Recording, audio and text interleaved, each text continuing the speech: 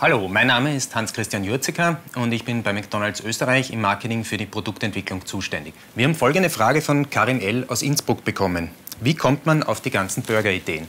Grundsätzlich gibt es bei McDonald's zwei Arten von Produkten. Das eine sind die internationalen Klassiker, so wie Hamburger, Cheeseburger, Big Mac, die in jedem Land immer gleich angeboten werden.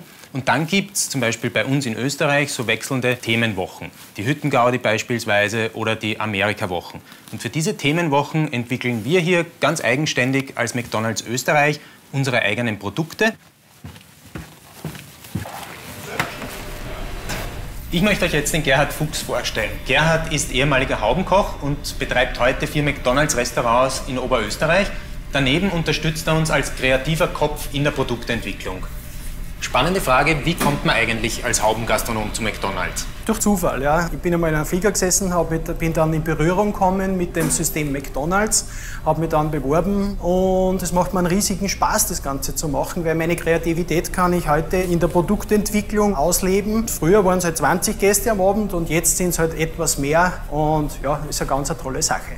Stichwort Produktentwicklung. Wie können wir uns die Entwicklung jetzt genau vorstellen? Wir arbeiten heute am Thema Amerika. Wo beginnt man da? Wo kommt die Idee her? Naja, das Erste ist einmal, man versucht einmal äh, Amerika zu greifen, versuchen, was wird drüben gern gegessen. Also wie zum Beispiel der rauchige Geschmack drüben oder der Coleslaw, der dort drüben verwendet wird. Das versuchen wir dann zu nehmen, unsere Inspiration daraus zu holen. Fein, dann starten okay. wir los.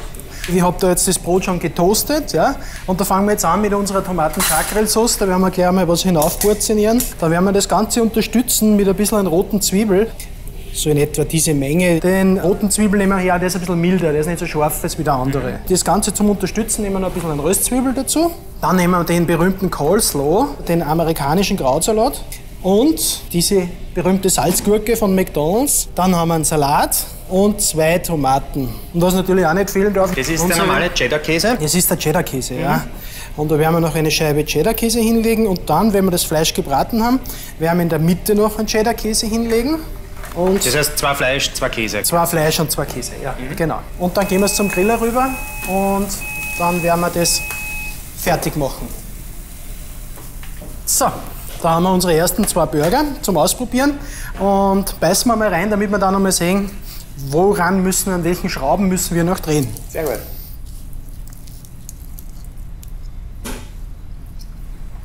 Was mir ein bisschen abgeht, das ist so der Speck.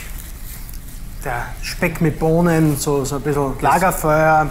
Das Rauchige von der Sauce kommt ja, noch nicht richtig dass durch. Dass wir das noch ein bisschen mehr unterstützen. Mhm. Und ich würde sagen, aber trotzdem den Coleslaw ein bisschen reduzieren. Weniger Coleslaw, dafür einen Speck hinein. Dass mehr die Würze und durchkommt. dann kann man mit der Würze mehr arbeiten. Ja. Mhm. Ja, wichtig ist, dass man, wenn man reinbeißt, so einen richtigen Mausfeeling hat. Also sprich, dass das so richtig, wenn ich reinbeiß, eine Explosion habe im Mund. Ja? Man spürt die Würze. Der, ja. der Speck war eine gute Idee. Das war gut, gell? Jetzt kommt da das, äh, die Charcoal-Sauce besser ja, durch. genau. Mhm. Der ist richtig am Punkt, der Burger. Sind wir fertig? Jetzt sind wir fertig, ja. Wunderbar. Karim, wir hoffen, dir hat der Blick hinter die Kulissen Spaß gemacht. Wir sagen danke fürs Zuschauen und guten Appetit. Allzeit.